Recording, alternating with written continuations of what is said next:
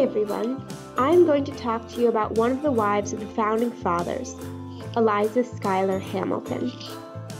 Now, if you have listened to new musicals like I have, you know that there is a new American musical called Hamilton about the life of Alexander Hamilton.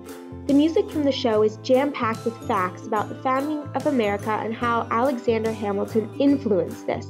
But Hamilton was also influenced by his wife, Eliza Schuyler.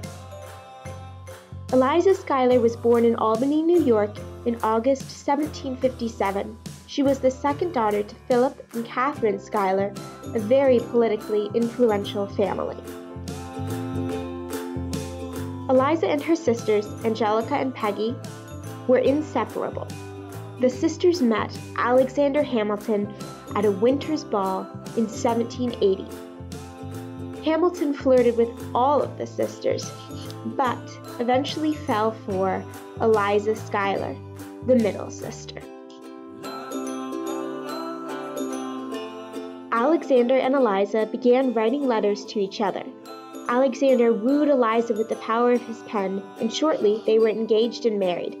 As Alexander worked as George Washington's secretary during the American Revolution, Eliza became pregnant with their first child. She stayed home and nurtured, this child, Philip, along with the seven children that followed.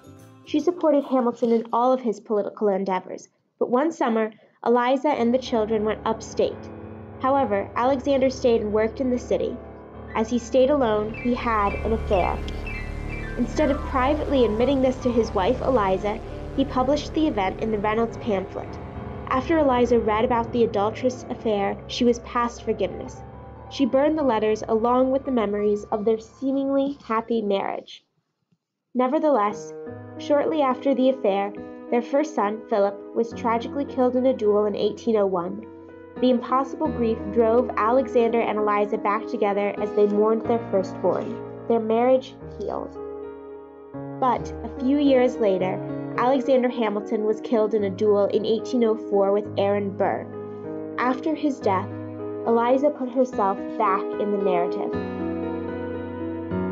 To keep Alexander's legacy alive, she interviewed soldiers that fought with Alexander. She reread and organized all of Alexander's thousands of pages of writing. Also, she raised funds in Washington, D.C. for the Washington Monument. But her most significant accomplishment was establishing the first private orphanage in New York City and raising hundreds of children in it. She was there when the first cornerstone of the orphanage was laid and acted as the director all the way into her late 90s. Eliza passed away in 1859 at the age of 97 years old. To conclude, this woman, Eliza Schuyler Hamilton, lived a marvelous life, devoted to her husband, raising their children, remembering Hamilton's legacy, and establishing the first private orphanage in New York City.